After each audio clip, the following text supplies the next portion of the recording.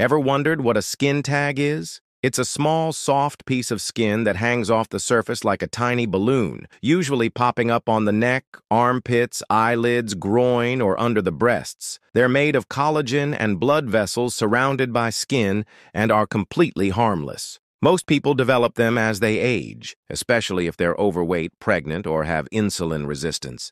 Skin tags don't hurt, spread, or turn into cancer, but they can get snagged on jewelry or irritated by friction from clothing. Some even grow large enough to cause cosmetic concerns or discomfort. If a skin tag is bothering you, a dermatologist can remove it quickly using methods like snipping it off with sterile scissors, freezing it with liquid nitrogen, or burning it off with cautery. The procedure is fast, usually painless, and doesn't require stitches. So while skin tags might look odd or feel annoying, they're nothing to stress about.